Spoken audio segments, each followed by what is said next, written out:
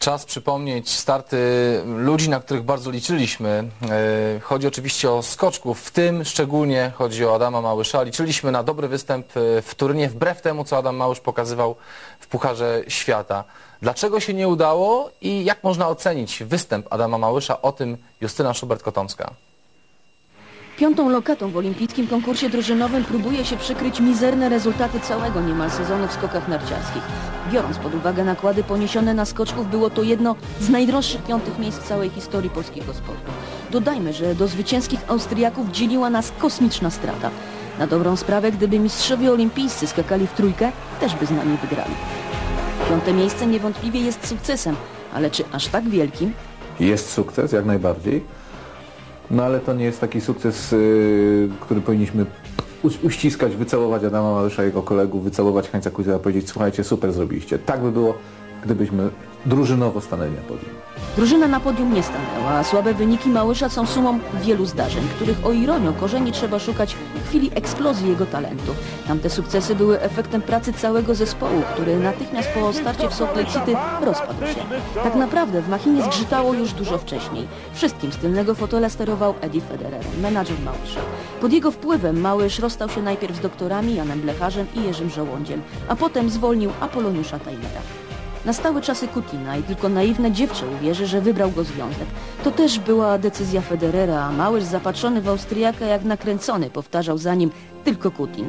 Szkoda, bo przecież chęć pracy zgłaszał również sam Hanu Lepisto. Kutin nic dobrego nie zrobił. Mały stał się cieniem zawodnika, który kiedyś odnosił wielkie sukcesy. Kutin zachował się jak Zosia Samosia. Nie chciał współpracować z psychologiem, bo uważał, że najlepszym psychologiem jest on sam. Kiedy trener Tainer chciał mu przekazać dokumentację pracy starego zespołu, on nie chciał nawet na nią zerknąć. Od początku wszystko wiedział lepiej. Przekonany o swojej nieomylności, co rusz chwalił dzień przed zachodem słońca. Jego obiecanki z czasem stawały się irytujące. Zapowiadały sukcesy, których nie mogło być. Ja przyznam się szczerze, że na mnie dość duże wrażenie zrobił Heinz Kutin, kiedy na, w Pinerolo z nim rozmawiałem na, na, na igrzyskach. I on do mnie powiedział, że Adam jest w top formie. Po raz pierwszy wtedy użył tego sformułowania w top formie. Wszystko idzie super. No, nieprawdopodobne. Heinz Kutin mówi takie rzeczy, że Adam jest w top formie. Co się będzie działo? I nic się nie dzieje. w którym nie błyszczeli inni. Małysz przegrał, ale w jego przekonaniu winni są temu dziennikarze i kibice, bo za często powtarzali, że forma wraca, a on uwierzył w to. No to zaraz, to albo on wierzy we własne siły, własne możliwości i wie na co go stać, albo wierzy w to, co ludzie dookoła mówią. Bo wydaje mi się, że jest na tyle doświadczonym skoczkiem, że potrafi chyba to rozgraniczyć. Ale najwyraźniej się zagubił, o co tak naprawdę nie mamy do niego pretensji, bo przecież przez pięć lat przeżywaliśmy dzięki niemu niezapomniane chwile. Najbardziej boli to, że mając coraz słabsze wyniki nie chciał zrozumieć, iż Kutin może jest dobrym trenerem, ale dla zawodników rozpoczynających karierę. On był diamentem, który trzeba było tylko oszlifować.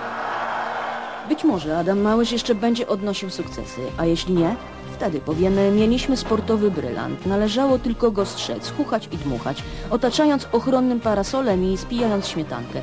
Oczywiście nie prywatnie, jak to robiło wiele osób z PZN-u. Każdy z nich ciągnął w swoją stronę, a gdy się prześcieradło tak napina, to wreszcie się podrze i podarło się. Zastanawiałem się tylko kiedy. Bo ja w ogóle jeszcze zastanawia mnie taka jedna rzecz. Dlaczego nie znalazł się, e, mówię o działaczach, nie wiem, kimś z rządu, ktokolwiek, trzeźwo myślący, kto by spojrzał na to okiem sportowca, profesjonalisty i pasjonata sportu. Bo ja po tych działaniach wszystkich, po tym co się działo, po tym co się działo, wydaje mi się, że to są pasjonaci pieniędzy, Przykro, że na sukcesie Małysza robiono własne interesy, a nie budowano przyszłości dyscypliny. Jeden Kamil Stoch to za mało. W wielu polskich związkach sportowych tak bywa, tak było między innymi w siatkówce, że kiedy się pojawiają wielkie pieniądze, kiedy się pojawiają sponsorzy, to nagle na jaw wychodzą rzeczy aferalne, wychodzą różne nieprawidłowości.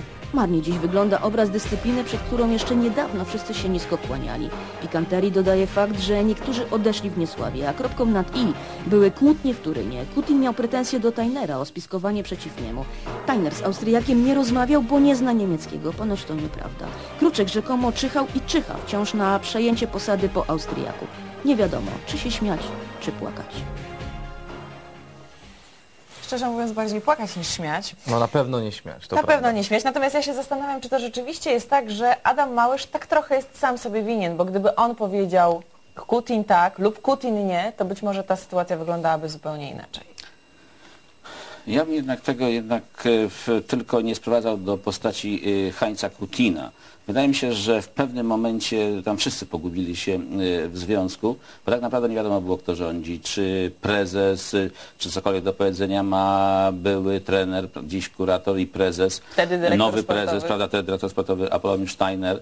E, Tak naprawdę faktycznie chyba najwięcej do powiedzenia miał e, cały czas dobrze skaczący Adam Małysz, ale z drugiej strony trzeba pamiętać jednak o Edim Federerze, który odgrywał tu ogromną rolę. Tak naprawdę my nie wiemy, jaką rolę do końca odgrywał, e, do jakiego momentu e, decyzje e, były e, suwerenne, na które wpływał Federer. No, jedno jest pewne, efekt jest taki, jaki jest, mleko się rozlało, chociaż prawie Panie nie Januszu, jest, z tego wyniku. jest piąte miejsce na Igrzyskach Olimpijskich w turnie drużyny. Czy to może obronić Kutina, który zastrzega, że nie chce już przedłużyć umowy z Polskim Związkiem Narciarskim i z kolei Związek też nie chce przedłużać umowy. U- Kutin chce odejść. Czy to piąte miejsce jest w stanie go zatrzymać na, na stanowisku, czy nie? Ja nie sądzę. Ja nie sądzę, dlatego że zbyt wiele cierpkich słów zostało powiedzianych e, już podczas e, samych igrzysk. E, Atmosfera w związku i wokół skoków była nie najlepsza. Czyli lepiej ją oczyścić, Myślę, że chyba tak. I myślę, że dla Małysza ta nowa motywacja może nadejść tylko w momencie, kiedy pojawi się ktoś nowy, który da mu jakąś nową dawkę optymizmu i go zachęci do pracy. Tak jak było z Kutinem dwa lata temu. Ale Tylko pytanie, drugiej kto to strony... będzie, bo Trudno- Heinz Kutin mówi o tym, że Stefan Horn, Horngacher raczej nie, bo to koledzy. Chociaż i- ostatnio znowu się pojawia nazwisko Hornhagera, Horngachera.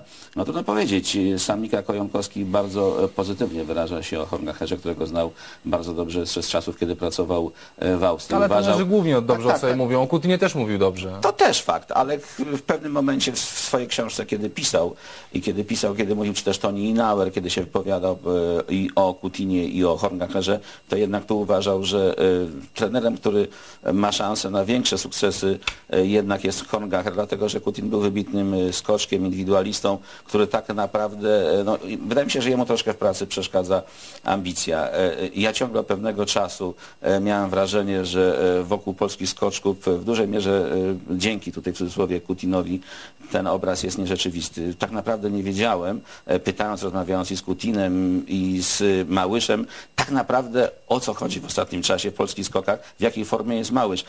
Najpierw ta forma była wysoka, miała być coraz wyższa, później kiedy zaczęły się schody i były problemy, to e, Kutin stracił panowanie nad e, sobą i przestał rozmawiać z dziennikarzami. E, W pewnym momencie, kiedy już Adam Małysz no, przegrał igrzyska, bo jednak nie zdobył medalu, na co Kutin i sam Małysz bardzo liczyli. Stwierdził, że wszystkim, wszystkim winni są dziennikarze oraz zła atmosfera e, w do- samej ekipie. ja Łukasz Kruczek, a O Publicznego tych tak dalej. dziennikarzy jeszcze będę chciał zapytać Pana, jakie ma Pan zdanie na temat tego zamieszania, które robią dziennikarze przy okazji imprez y, sportowych.